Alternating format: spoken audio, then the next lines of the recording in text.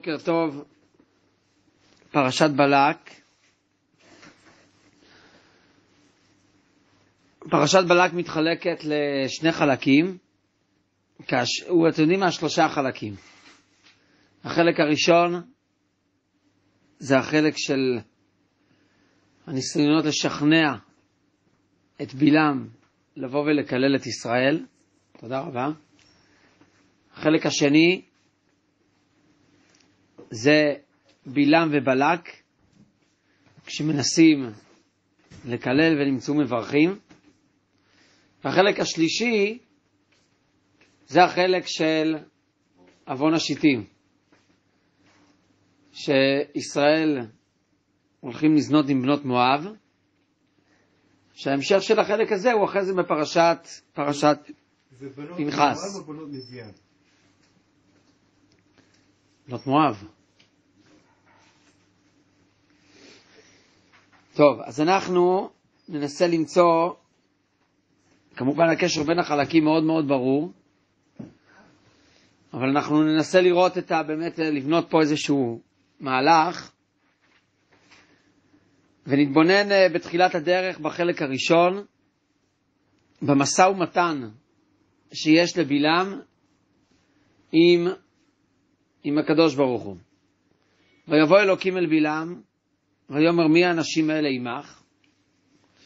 ויאמר בלעם אל האלוקים, בלק בן ציפור מלך מואב שלח אליי. ואז הקדוש ברוך הוא נגלה לבלעם בלילה, ואומר לא תלך עמהם, לא טהור את העם, כי ברוך הוא. אומר רש"י, הקדוש ברוך הוא לא השאיר פתח, הוא בכוונה אמר לו משפט שלא ישתמע לשני פנים. אמר לו, אומר רש"י, לא תלך עמהם, אמר לו, אם כן אקללם במקומי. אמר לו, לא טהור את העם. אמר לו, אם כן אברכם. אמר לו, אינם צריכים לברכתך, כי ברוך הוא. משל אומרים, משל אומרים לצירה, לא מדובשך ולא מעוקצך. ביידיש, איך קוראים לזה? מויכל טויבס. הקדוש ברוך הוא לא השאיר, הוא, הוא הכיר את הג'וקר. הוא אמר, אני אגיד לו משפט שיסגור את כל הפינות. אין פה... הדברים של הקדוש ברוך הוא לא יכולים להישמע, לא יכול להישמע לשני פנים. נמשיך. ויוסף עוד בלק, שלוח שרים רבים ונכבדים מאלה. ויען בלעם, ויאמר אל עבדי בלק, אם ייתן לי בלק מלוא ביתו כסף וזהב, לא אוכל לעבור את פי השם אלוקיי, לעשות קטנה או גדולה. ועתה שבונה בזה גם אתם הלילה, וידע מה יוסף השם, דבר עמי. ואז ויבוא אלוקים אל בלעם לילה, ויאמר אם לקרוא לך באו האנשים, קום לך איתם. ואך את הדבר אשר אדבר אליך, אותו תעשה. אז כאן לא הבאתי פה בדף, אבל ידועים דברי רש"י פה. שמה רש"י בא ואומר לנו? מה פתאום עכשיו הקדוש, ריבונו של עולם כן נותן אפשרות לבלעם כן ללכת? אז כאן רש"י אומר, אני רגע פותח פה,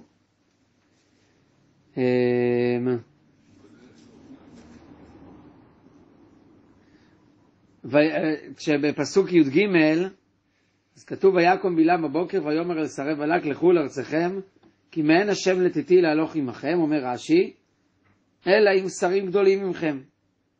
למדנו שרוחו גבוהה, ולא רצה לגלות שברשותו של מקום.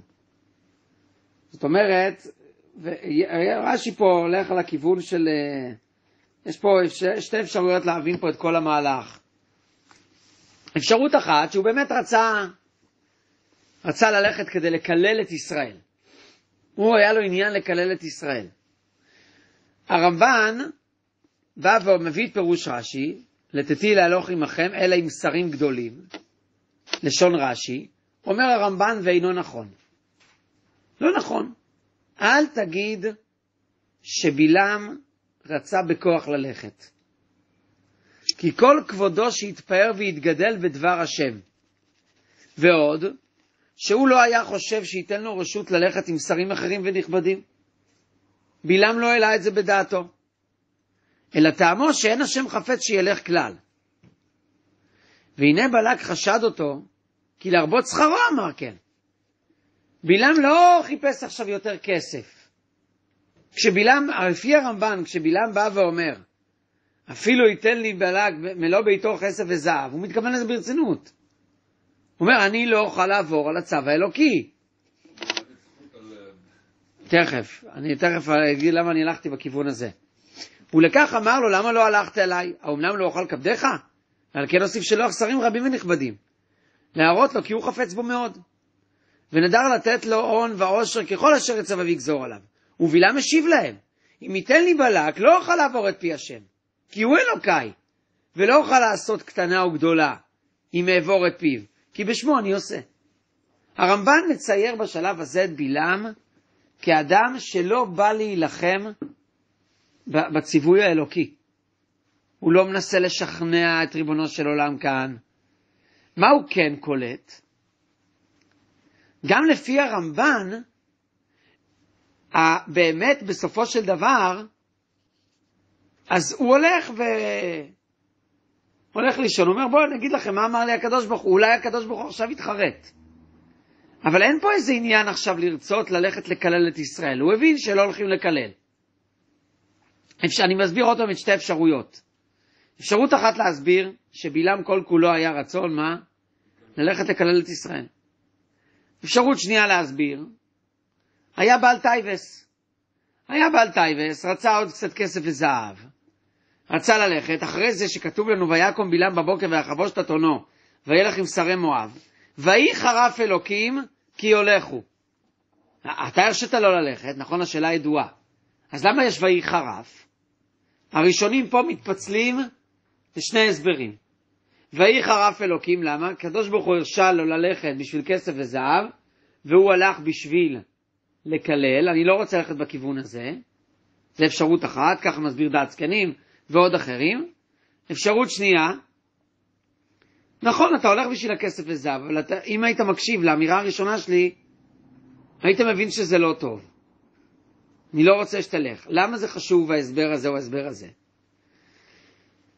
לפעמים בא בן אדם ואומר, אני רוצה, הוא, שואל, הוא, הוא מתייעץ עם הרב, הוא שואל את הרב. הוא שואל מה ההלכה אומרת. אבל מה? הוא מחפש את הקולות. הוא מחפש כמה שיותר קולות, הוא מחפש את הרב הנוח. בדרך כלל אנחנו נזהרים לבקר אדם כזה. למה אנחנו נזהרים? בשורה התחתונה, בן אדם שואל. אני בשיעור הזה כן רוצה ללכת בקו הזה של, של כן הביקורת על הדבר הזה, ובסוף שיטת הרמב"ן וכל הסוגיה הזו זה שאחרון אף של ריבונו של עולם על בלעם לא היה על זה שהוא רוצה ללכת לקלל. הרמב"ן לא מאמין את הסוגיה ככה. תסתכלו, תסתכלו רגע, רש"י, סליחה, רש"י וה, והראם והמזרחים שמסביר אותו. תראו מה קורה ארבע. כי הולכו, ראה שהדבר רע בעיני המקום, ונתבע לילך. אומר המזרחי, פירוש, אף על פי שלא היה הולך אלא ברשותו של מקום, בשורה התחתונה הוא שאל וקיבל תשובה, אתה יכול ללכת, שנאמר, קום לך איתם, אף על פי כן חרה אף השם בהליכתו זאת, מפני שכבר ידע שהליכתו רע בעיני השם, שכבר אמר לו, לא תלך עמהם, לא טהור את העם, לא הרשהו לילך, אלא מפני שלא יפסיד השכר שהיו נותנים לו. וכיוון שלא הסכים השם בהליכתו זאת, אלא מפני שכרו, לא היה לו לילך. ראיתם מה הוא כותב? למרות, המזרחי בא ומעמיד את זה, בלעם הלך כדי לקבל כסף.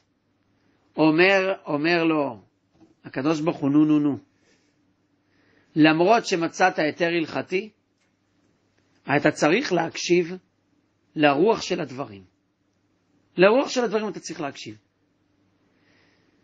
אני חוזר עוד פעם על הנקודה, מאוד מאוד חשוב, אמרתי כבר כמה פעמים, שבעצם בחיים שלנו אנחנו יכולים להסתכל על כל היחס שלנו עם ריבונו של עולם כפריית חוב. יש ציוויים אלוקיים, יש את החיים שלי, אני אחראי להסת... שהחיים שלי יסתדרו עם הציוויים האלוקיים. כל מה שבגדר, כל מה שלא כתוב אסור, הרי שהוא מותר. ויש לנו אדם אחר. יש לנו אדם אחר שאומר, אני צריך לחיות חיים של קודש. זה החיים שאני צריך לחיות. המצוות נותנים לי את הקו, אבל בסוף אני צריך לחיות חיים כאלה. מבלעם, אם אנחנו מסבירים על פי מה שהסברנו עכשיו, אנחנו רואים את הביקורת הגדולה שיש לריבונו של עולם כשיש בן אדם שבא ויודע שמשהו לא מצא חן, אבל הוא מצא פרצה הלכתית, והוא משתמש בפרצה הזו ועושה אותה, יש חרון אף. הוא מעורר חרון אף בשלב הזה. אז בואו נתמקד בנקודה הזו, ננתח אותה ונראה בזה כמה וכמה דברים. קודם כל נביא כמה מקורות שמלמדים אותנו על היסוד הזה. נחזור ונאמר, המצוות, הנושא, העניין הוא לא לקיים את המצוות, אלא העניין הוא שהמצוות יחנכו אותנו לאורח חיים מסוים. יתוו לנו דרך בחיים שלנו. יחנכו לנו את האיברים. ובואו נראה את הדבר הזה. רבי ירוחם, במקור מספר 10, על הפסוק תורת השם משיבת נפש. איקמן דאמר שהעיקר הוא הנפש, שהקטן נתלה בגדול. תורה בנפש, נכון? תורת השם משיבת נפש. וכן פירש המקרא. מאין אנו רואים שהתורה תמימה היא? מפני שמשיבה את הנפש. ודבר זה הוא חידוש גדול. מה כל כך חידוש בדבר הזה? אנו הלא מורגלים להבין כי התכלית והמטרה היא לימוד תורה. התכלית והמטרה היא שיהיה האדם עושה מצוות. אלא שכדי לעשות מצוות, הוא צריך שיהיה לו איברים. וכאן אמרו חז"ל שאין הדבר כן, אלא התכלית הוא האדם השלם, ורק כדי שיהיה האדם שלם, צריכים לתת לו מצוות. הבנו את היסוד. היסוד הוא, אני חוזר עוד פעם על הדברים, התכלית היא לא התורה והמצוות, אלא התכלית זה האיברים שלנו שיהפכו להיות איברי מה? איברים שמקיימים תורה ומצוות. זה, זה הבדל מאוד מאוד מהותי. מה ההבדל ביניהם? אם אני אומר שהעיקר תורה ומצוות, אני בכלל לא דן באיברים. אני דן בעצם קיום התורה והמצוות. קיימתי את התורה והמצוות, אני בסדר גמור. אבל אם אני אומר לא, אנחנו צריכים שהתורה והמצוות, הם ילמדו, הם יחנכו את האיברים, הם יעצבו את האיברים, אז זה אומר שכל החיים שלנו צריכים להשתנות מן הקצה אל הקצה. צריך להיות לנו אורח חיים אחר. על פי ההסבר הזה, מסביר רבי ירוחם את הגמרא שאומרת, כשבן אדם, מה השכר שאדם הולך ללמוד תורה? אז הגמרא, תסתכלו במקור מספר 11, אגרא דפירקה ריאתה. מה זה, מה זה אגרא דפירקה ריאתה? שכר לימוד, מהו? ריצה. שאל רבי ירוחם, מה הקשר? למה שכר לימוד יהיה ריצה? כי כשאתה בא ואתה רץ ללימוד, אתה משתמש באיברים, שמה אתה מראה באיברים האלה? אתה מראה באיברים כמה הדבר הזה הוא חלק ממך. כמה הדבר הזה הוא משפיע על אורח החיים שלך. לכן שכר לימוד ריצה. כי הריצה מלמדת שהאיברים נכנסו לתוך, לתוך הסיפור הזה של עבודת השם. תפילה, יש, אפשר להגיע לתפילה ובשלב, בהתחלה, במוכנות נפשית, ולהתכונן לתפילה. אפשר להגיע לתפילה תוך כדי מרוצה. מה ההבדל בין זה לבין זה? ההבדל בינו לבינו שהוא כל כולו נכנס לתוך המקום הזה, והשני הוא בא לפרוע את חוב התפילה. ולכן אנחנו מרשים לעצמנו לאחר, ולכן עוד אלף ואחד דברים. אבל הנקודה היא שאם אנחנו, יש לנו חיים חיים של קיום מצוות, זה אמור לקבל ביטוי בכל האורח חיים שלנו. אנחנו, אה, לא משנה, בכל תחום, לשון הרע. לשון הרע זה רוח של הדברים. אז לשון הרע, בן אדם יכול לבוא ולדקדק, רגע, בוא נראה, אני מחפש, אני אגיד, אני רוצה להגיד נייס, אבל בוא נראה איך לומר אותם. נמצא את ההיתרים ההלכתיים לפי החפץ חיים, מהפתלתא, מפורסם, לא מפורסם, זה עכשיו נוכל לבוא ולומר. יש אדם שמתרחק מהסיפור הזה של לשון הרע. החפץ חיים אמר לבן שלו שאסור לקנות עיתונים. אסור לקנות עיתונים, למה? זה לשון הרע. האם אסור לקנות עיתונים? מותר לקנות עיתונים. אנחנו יכולים למצוא, למצוא, אה, תלוי איזה עיתונים. אה, אפילו עיתון בשבע. מותר לעיין בעיתון בשבע? מותר לעיין בעיתון בשבע. אפשר למצוא את ההיתרים ההלכתיים, נכון? אבל כשבא חפץ חיים ואומר, אני לא רוצה שיהיה חלקי מהעיתונים, מה בעצם הוא אומר? בסוף אתה נפגש עם הרבה הרבה הרבה דיבור שהוא לא נחוץ לך. מותר, אסור, יש פתח, אין פתח. אצל החפץ חיים זה לא היה דיון. הוא אומר, הרוח פה זה אווירה של רכילות.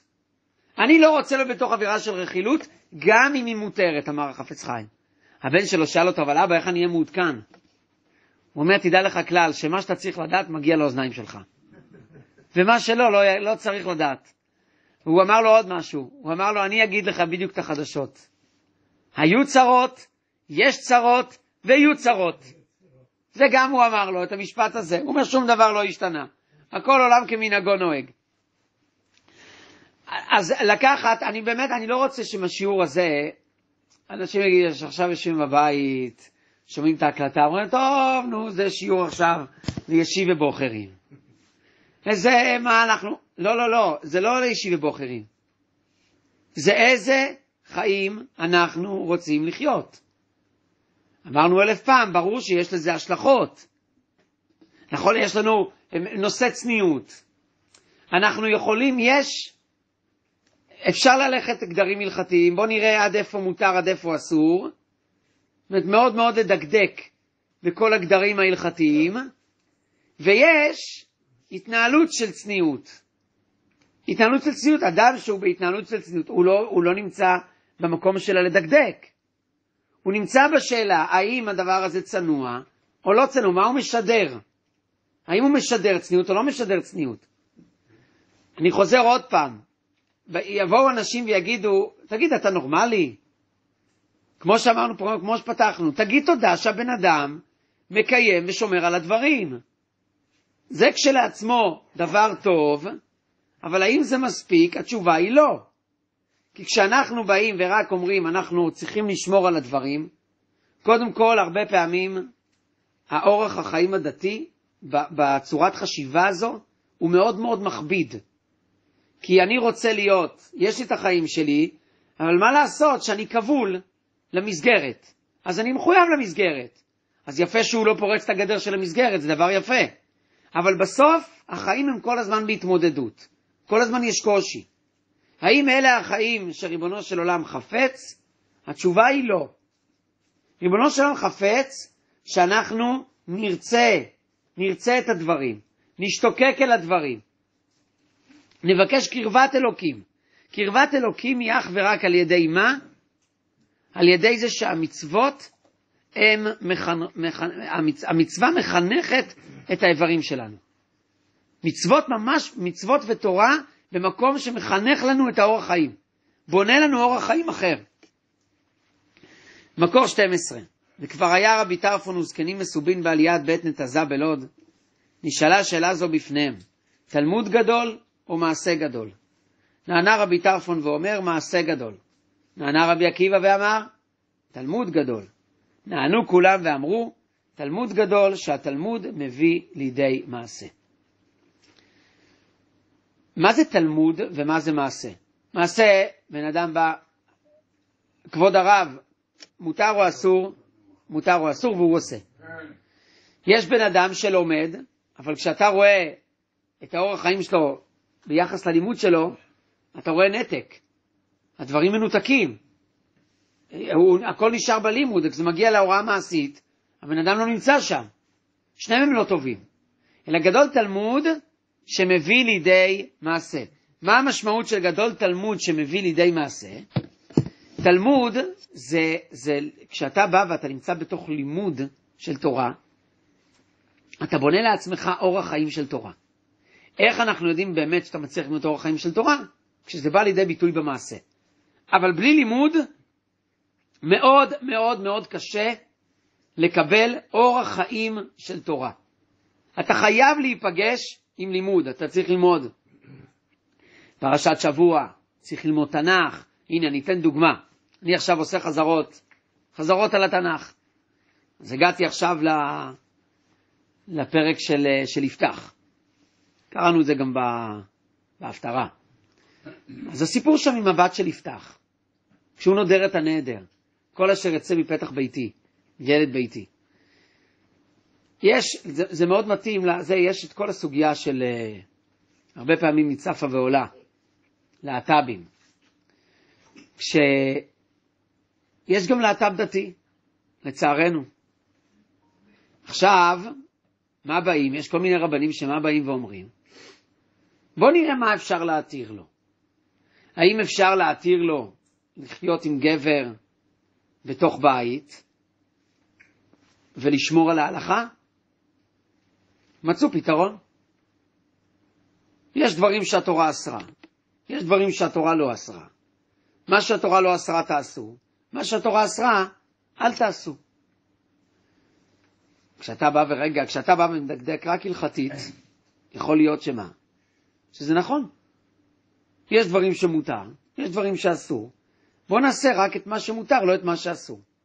אבל, אבל, מה, כשאתה בא רוצה לחיות חיי תורה, האם הדבר הזה הוא בכלל אפשרי? בשום פנים ואופן. מי שרוצה לחיות חיים, מי שהוא הוא, הוא מבין שהוא מחויב לתורה, אבל הוא מחויב רק בקיום המצווה, אז הנה חינמי, הוא, הוא ילך אחרי הזרם הרבני הזה. אבל מי שמבין שהתביעה, זה, זה בילמיות, זה ממש הבילמיות. אתה הולך לישון, ואתה שואל את ריבונו של עולם, מה כן? בוא נראה מה כן ומה, אתה אומר זה לא, בסדר, זה לא. אבל מה, מה, מה שלא אמרת לא, אז אני יכול לעשות. זה בילמיות. כי אתה צריך לשדוק עם עצמך מה רוח הדברים, מה ריבונו של עולם רוצה.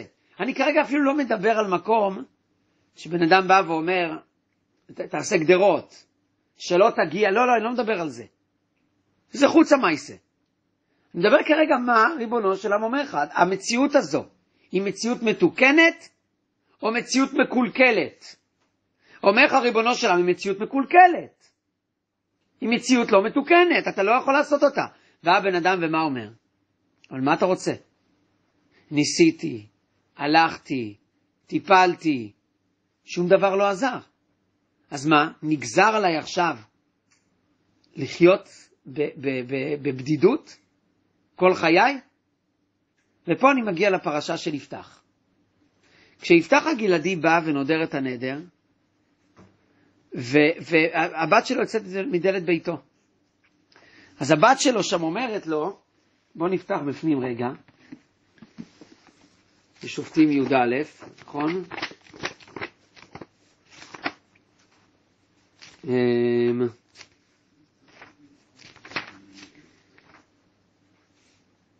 הנה, ויאמר, רגע, ויקיר אותו אותה, ויקרא את בגדיו, ויאמר, אה, נתן צעקה, אה ביתי, וכולי וכולי וכולי, ותאמר אליו, אבי, פצית את פיך אל השם, עשה לי כאשר יצא מפיך. אחרי אשר עשה לך השם נקמות מאויביך מבני עמון. המלבי מסביר פה שהיא בעצם, אבא, אתה לא, יכול, אתה לא יכול להתיר את הנדר הזה. אתה לא יכול להתיר את הנדר הזה, כי כל ההצלה הייתה תלויה בנדר הזה. אז אתה עכשיו לא יכול להיות מוצל, ואחרי זה לבוא ולהפר את הנדר. היא טעתה. אומר המלבים שזאת הייתה טעות גדולה שלה, ולכן נפתח, לא רואה צורך אפילו ללכת לפנחס. פנחס לא מגיע ליפתח, והחז"ל מבקרים אותו על זה. על פנחס, למה פנחס לא הולך ליפתח כדי, כדי להפר לו את הנדר? אבל רגע לראות את הגדולה של הבת הזו. עזבו אם היא טעתה או לא טעתה, אבל היא מתחברת רגע מבחינתה, מתחברת עכשיו מה השם, מה, מה רצון השם? מה רצון השם? ותאמר אל אביה, יעשה לי הדבר הזה, הרפה ממני שניים חודשים, ואלך, וירדתי אל הערים, ואבכה על בתולי, אנוכי ורעותי. אני אתן לי ארבע חודשיים לפרוק, זה טרגדיה, אני לא אוכל להתחתן. היא הולכת, לי לפרוק, וזהו. ואני אחרי זה הולכת, אני משלימה עם, מה שקורה. ויאמר לכי, וישלח אותה שני חודשים, ותלך היא ורעותיה, ותבקל בתוליה להרים. ויהי מקץ שניים חודשים, ותשוב אל אביה, ויעש לה את נדרו אשר נדר, והיא לא ידעה איש, ותהי חוק לישראל. מימים ימימה תלכנה בנות ישראל לתנות לבתפתח הגלעדי ארבעת ימים בשנה. הוא לא הרג אותה, הוא לא הקריב אותה, חס ושלום. מה שהוא עשה לה, הוא בנה לה בית לבד, היא ישבה בדד, הייתה זה, בנות ישראל היו מגיעות אליה פעם בשנה, לשבת איתה ארבעה ימים, כדי קצת לעודד אותה, לשמח אותה. למה הבאתי את זה? יבוא אדם ויגיד, אני לא... מה, נגזר עליי לחיות בבדידות? אם אתה חושב שאין דרך לטפל בך, אז התשובה היא כן. אז נגזר עליך לחיות חיים לשיטתך, שחיים שאתה בהם לא. לא תתחתן. אתה לא תתחתן, אתה לא תביא ילדים לעולם בכל מיני דרכים שונות ומשונות, כי זה לא רצון השם. זה לא רצון השם. אז אם נגזר, אז נגזר. בסוף יש פה, יש פה מקום בכירי לאדם. עד כמה הוא יכול אה, לוותר על דברים, עד כמה הוא יכול בכל זאת לגשת לאיזה ברית נישואים, שיכול להיות שלא תיראה כמו ברית נישואים של אדם סטנדרטי מהשורה. אבל האופציה הזאת של לגור עם, עם גבר נוסף בבית, היא לא אופציה שהיא קיימת מבחינת ריבונו של עולם. תגיד, אתה שומר על ההלכה? אני מקפיד, זה לא משנה. זה בילמיות. המעשה הזה הוא מעשה בילמי. זה לקחת משהו שאתה יודע שהוא מתועב אצל ריבונו של עולם. גם אצל נשים. נכון, נשים יבואו ויגידו, מה האיסור? לנו אין איסור. אז השולחן ערוך כתב. כתב גם נשים, אל, אל תעשו את זה. הוא כתב מפורש בשולחן ערוך. זה לא דרך חיים של אדם שומר תורה ומצוות. זה לא דרך חיים של אדם שרוצה לחיות חיים על פי רצון השם. הלכנו למקרי קיצון, אבל בואו נחזור חזרה למסלול שלנו. האם, השאלה תמיד, האם הסרט הוא נקי או לא נקי? לפני שאנחנו שואלים אם הסרט הוא נקי או לא נקי, אנחנו צריכים לשאול את עצמנו, האם התרבות הזו, זו תרבות שרצון השם נוכח שם? שם נמצא רצון השם?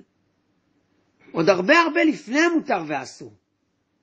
הרבה דברים לפני המותר והאסור, אבל השאלה היא בכלל לא מותר ואסור. השאלה האם רצון השם או לא רצון השם. זה אחד המסרים העמוקים ביותר שמעבירים, שהקדוש ברוך הוא רוצה להביא לנו דרך הפרשה הזו. בלעם היא דמות, אפשר לצייר אותה כדמות שכל הזמן חותרת תחת ריבונו של עולם. אבל אפשר, כמו שהסברנו, להסביר את בלעם, שזו דמות שמנסה להסתדר עם ריבונו של עולם, ולא לחתור תחתיו. והנקודה הזאת היא נקודה שצריך לתת עליה את הדעת. צריך לתת עליה את הדעת כי בציבוריות שלנו היא מאוד מאוד מאוד נוכחת, הגישה הזו. הגישה הזאת של הדעת להסתדר. ואנחנו צריכים הרבה הרבה הרבה יותר להעמיק ולשאוף ולחיות חיים שהם על פי רצון השם. ואינם דומים חיים על פי רצון השם לחיים של להסתדר עם השם. אלה שני דברים שונים לחלוטין. ועל פי הראשונים יבוא בן אדם ויגיד, אדוני, אתה מסביר את הפרשה הזאת על פי, על פי רש"י, אני מסביר את זה על פי דעה אחרת. בסדר, לגיטימי. אבל אני בכוונה נצמדתי פה לפירוש של רש"י, שהוואי חרף, הוואי חרף זה על הכסף וזהב. למרות שזה מותר לך, יש לי חרון עף עליך, כי אתה, צריך להבין שזה לא רצוני. תקשיב לאמירה הראשונית. ויאמר בלעם אל מלאך השם חטאתי כי לא ידעתי כי אתה ניצב לקראתי בדרך. ואתה אמרה בעיניך אשובה לי. סיפור האתון.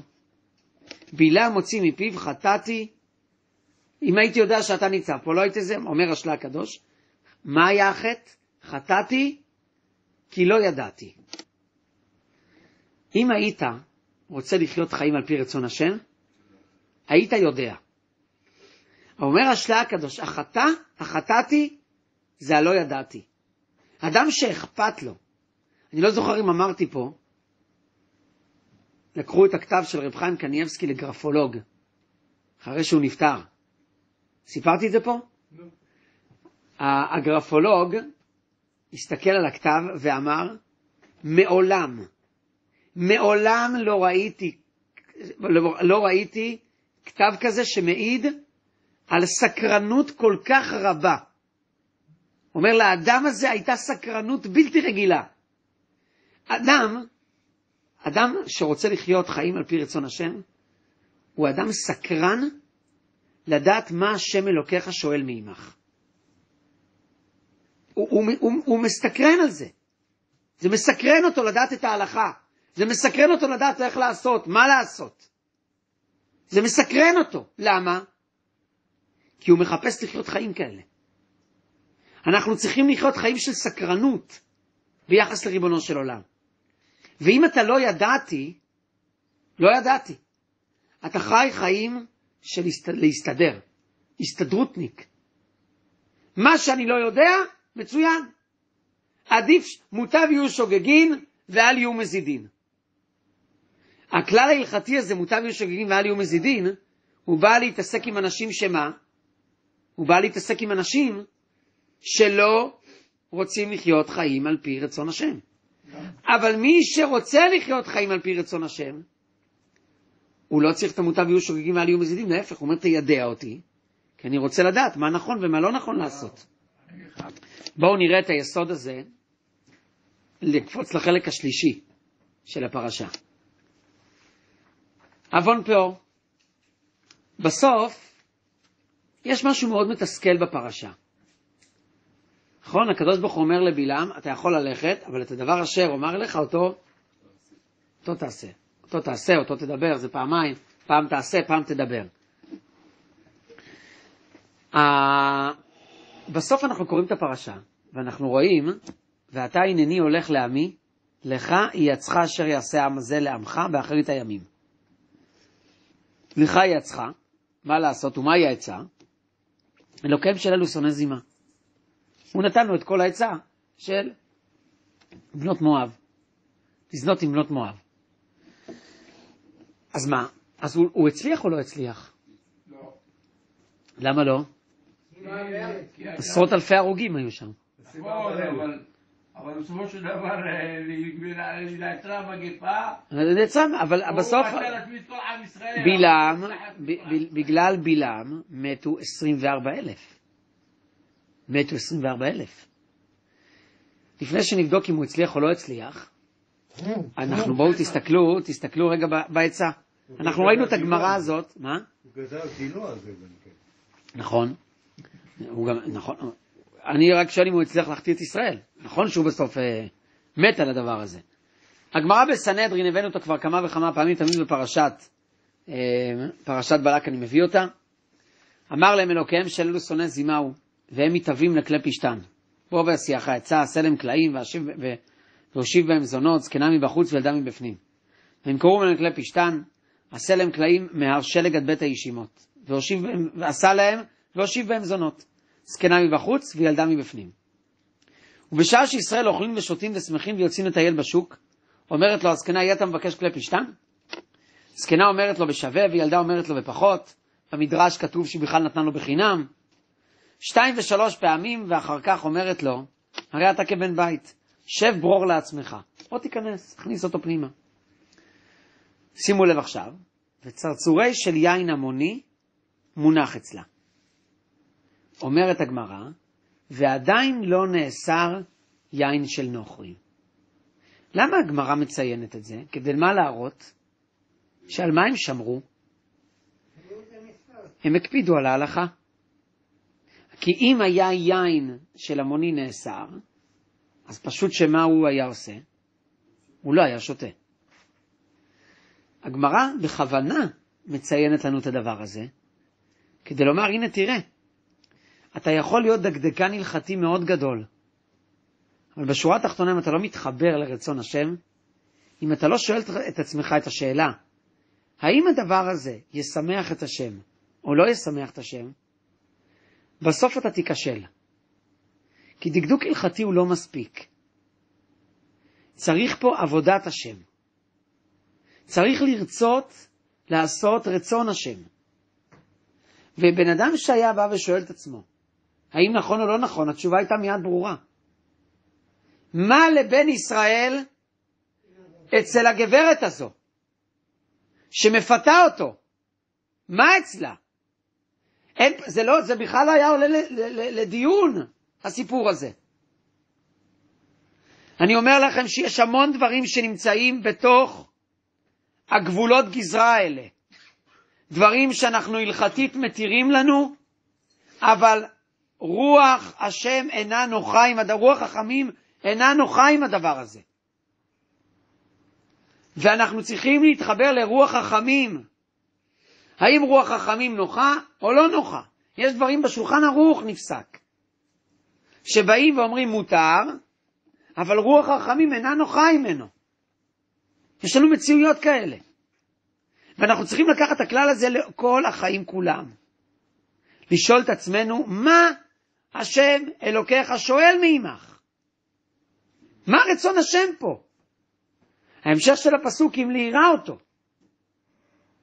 יראת שמיים, אבל לא ממקום של, של חרדה מהקדוש ברוך הוא, מאיזה מקל אני אקבל בראש, אלא מהיראה עכשיו, שאיך אני יכול לפגוע ברצון השם. וזה גמרא, אני חושב, שהיא מאוד מאוד מבטאת איך עם ישראל בסופו של דבר נפל שם. הדקדוק ההלכתי לא יציל אותך. הוא לא יציל אותך, הוא יפיל אותך. כי אם אתה לא מחפש את רצון השם, בסופו של דבר הפרצות האלה זה בהתחלה פרצה קטנה ואחרי זה זה הופך להיות משהו ענק. הרב זקס, יש לו דבר, אמירה מאוד יפה על השאלה הזאת באמת ששאלנו, האם בלעם הצליח או לא הצליח. והוא בא ומחלק את הפרשה, הוא אומר, החלק הראשון של הפרשה, עם ישראל בכלל לא יודע עליה. אנחנו יותר חכמים מעם ישראל של דור המדבר. אנחנו, היום שאנחנו קוראים, התורה חושפת ומגלה לנו מה קרה שם בראשי הערים עם בלק, בלעם והקדוש ברוך הוא. מה קרה שם שהם עמדו שם? האם, האם עם ישראל ידע מכל האירוע הזה? עם ישראל לא יודע כלום. הוא, האם עם ישראל ידע שהוא עמד בפני סכנה קיומית אמיתית שמקלל מספר אחד זה שיודע לכוון לרגע, שהוא גדול ביכולות שלו כמשה רבנו, נביא כמשה רבנו, עומד ועכשיו כל עניינו זה לכוון לרגע ולדקור ולזרוק קללה? האם עם ישראל ידע באיזה סכנה קיומית הוא היה נתון? שום דבר הוא לא ידע. התורה באה ומגלה לנו את הדבר הזה, ושם מי מושיע אותנו? הקדוש ברוך הוא מצילנו מידם. משחק איתו, משתעשע איתו, עושה לו ככה, מבייש אותו, איזה... אבל אז הגיע שלב שבא בלעם ונותן עצה. בוא תכשיל אותם. שם עם ישראל כבר נמצא בתוך התמונה. כאן הקדוש ברוך הוא כבר עומד ואומר, רגע, אני את שלי עשיתי. במקום שאתם לא יכולתם למנוע, אני הצלתי אתכם. עכשיו בואו נראה. אני עכשיו משאיר לכם את התפקיד שלכם. אתם עכשיו תעשו את התפקיד שלכם. ומה התפקיד שלכם? התפקיד שלכם זה לבדוק האם הדבר הזה, לזנות בשיטים, הוא דבר נכון או לא נכון. לאן הוא יביא אתכם? תראו איך הוא כותב את זה בסוף. המסר, מקור 17, בסוף בסוף.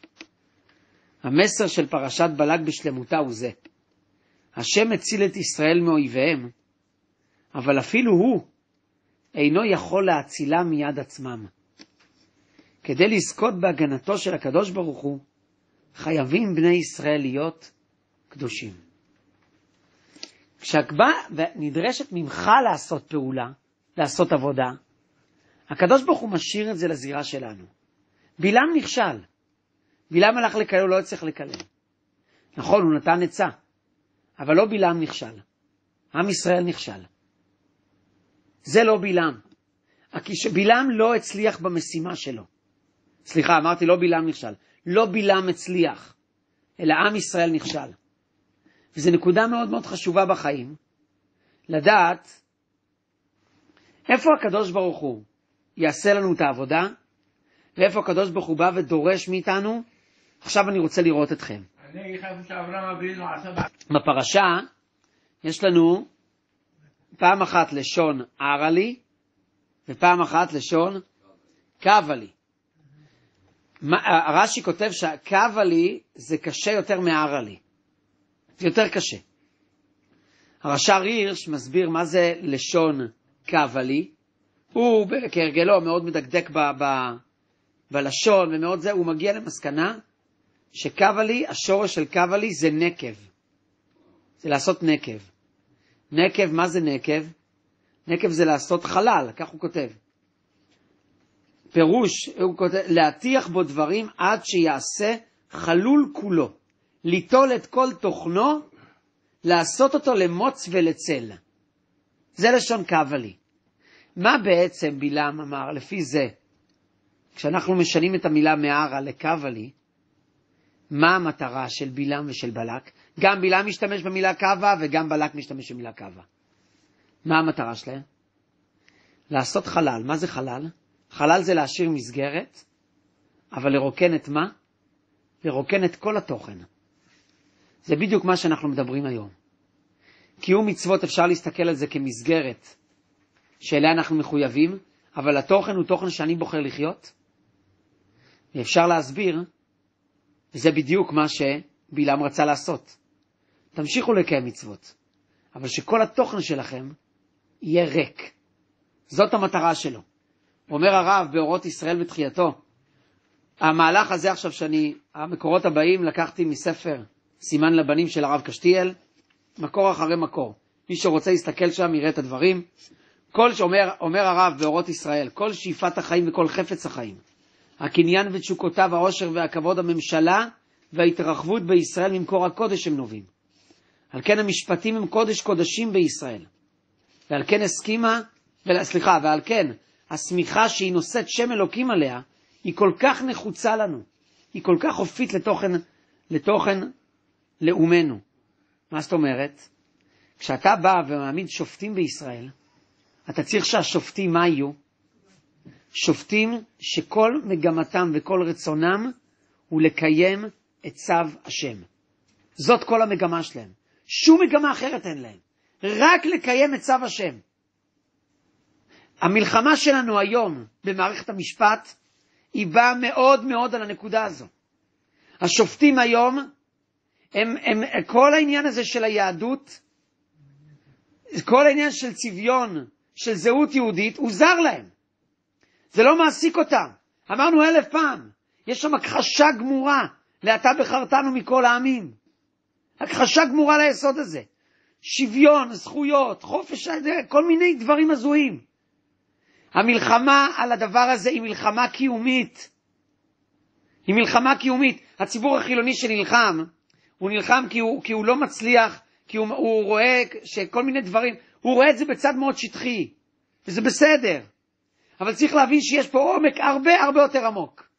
זה ניסיון ל- ל- לעשות חלל, לעשות חלל באומה שלנו. הגמרא בסנהדרין מביאה פעם אחת גזרה מלכות הרשעה, שמד על ישראל, שכל הסומך ייהרג וכל הנסמך ייהרג. ועיר שסומכים בה תחרב, כמה השמיכה הזו הייתה בעוכריהם של הרומאים. מה עשה יהודה בן בבא? הלך וישב לו בין שני ערים גדולים ובין שתי עיירות גדולות, ובין שתי תחומי שבת, בין אושה לשפרעם, ושמח שם חמישה זקנים, ואלו הן רבי מאיר, רבי יהודה, רבי שמעון, רבי יוסי, רבי אלעזר בן שמוע. כיוון ורב אביה מוסיף אף רבי נחמיה, כיוון שהכירו אויביהם בהן, אמר להן, בניי, רוצו. אמרו לו, רבי, מה תהא עליך? אמר להן, הריני מוטל לפניהם כאבן שאין לה הופכין. אמרו לו, זזו משם עד שנעשו בו שלוש מאות, שלוש מאות אה, חרבות כאלה של ברזל, ועשאו כקברה. למה הם עשו בו נקבים? הם ביטו מה אנחנו, אומר, אומר הרב קשתיאל, הרומאים נקבו בחניתות וחוררו אותו כמסננת, החללים והריק, והריק הסתמי ש, ש, ששררו בתרבותם עוררו כעס וקנאה, שהוביל לדחף נוראי לנקב את גופו. היה להם קנאה בתוכן האדיר הזה שיש לעם ישראל, בקודש הזה שיש לעם ישראל, וכל מגמתם מה זה ליצור את החלל הזה. ליצור את החלל, זה מה שהם רצו לעשות. וזה מה שרוצה לעשות בלעם. כשפנחס בא, מה אומרת התורה? ויבוא אחר איש ישראל אל הקובה, וידקור את שניהם, את איש ישראל ואת האישה, אל קבתה. קובתה, סליחה, ותעצר המגפה מעל בני ישראל. שימו לב עוד פעם, השורש, לחורר, לחורר. פנחס בא ואומר, מה זה, רש"י מסביר פה, שמה זה, זה, זה הקיבה. הקיבה זה, זה החלל, החלל שבו אנחנו מעכלים את המזון החומרי. מהדבר הזה אומרת הגמרא בסנהדרין, שזכו הכהנים לזרוע כנגד הים, כנגד היד, וכן הוא אומר, ויקח רומח בידו, לחיים כנגד תפילה, וכן הוא אומר, וכן הוא, וכן הוא אומר, ויעמוד פנחס ויפלל. כובע כמשמעה. וכן הוא אומר, ואת האישה על כובעתה. זה הקיבה. למה קיבלו את הקיבה? בגלל, הכל מפנחס. אנחנו נותנים את הקיבה, למי נותנים את הקיבה? נותנים אותה לכהן. זה אחד ממתנות כהונה. הקיבה הופכת להיות קודש. כי אצל עם ישראל החלל, תמיד צריך למלא אותו בתוכן. בתוכן של קדושה. המסר העמוק של פרשת בלעם זה אל תהיה יהודי שמנסה להסתדר עם הציווי האלוקי, אלא תהיה יהודי שרוצה לחיות אלוקים, וחי בהם, שנהיה כולנו מלאים בתוך חיות של קדושה, של שמחה, נרצה כל כולנו לעשות רצון השם. שבת שלום.